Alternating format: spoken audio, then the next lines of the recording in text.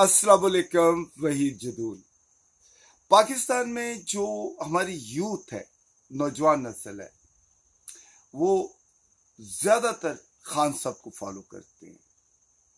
और खान साहब का जो विजन है, जो खान साहब का वे ऑफ़ गवर्नेंस है, उसको वो लाइक करते हैं।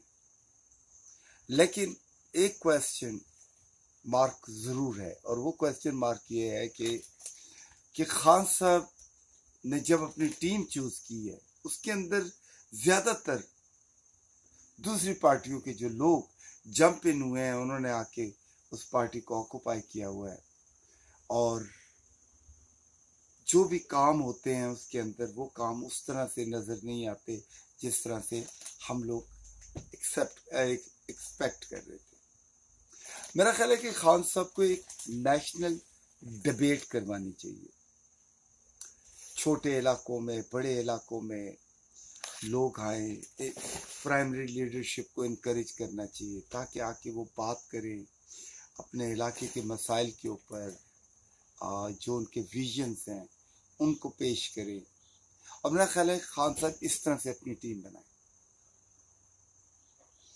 क्योंकि मुझे याद है कि टू थाउज़ेंड थर्टीन के अंदर मैं गया हुआ था और वहाँ पे पाकिस्तान के अंदर जिस तरह से नौजवान लड़के थे, वो भाग रहे थे, काम कर रहे थे खान साहब के लिए। लेकिन जब खान साहब की गवर्नमेंट आई है, मैंने उन चेहरों को नहीं देखा। मुझे याद है कि एबटाबाद के अंदर चंद लड़के थे, वो बड़ा, बड़ी मेहनत के साथ, बड़ी लगन के साथ भाग रहे थे। इसमें खालिद तैमूर साहब थे डॉक्टर एस एम नवीद थे, इसी तरह और काफ़ी सारे लड़के थे। लेकिन जब काम का वक्त आया तो उन बच्चों के टैलेंट को आजमाया नहीं गया।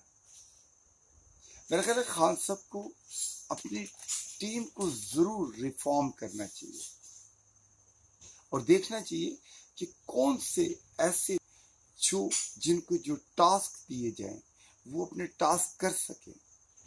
और उसमें अगर अपोजिशन के अंदर भी अगर अच्छे लोग हैं जो वाकई चाहते हैं पाकिस्तान के लिए कुछ अच्छा हो तो उन लोगों को भी वेलकम करें, उनको भी हाथ बढ़ाएँ कि यार ठीक है, आप अपोजिशन में नो बिग डील आप आए, हमारे साथ काम करें, उनको गवर्नमेंट का हिस्सा बनाएँ।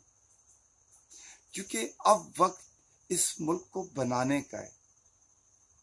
हमने सारे एक्सपीरियंसेस कर लिए हैं सत्तर साल के अंदर। पहली दफ़ा ये वक्त आया है कोशिश करें करके दिखाएँ।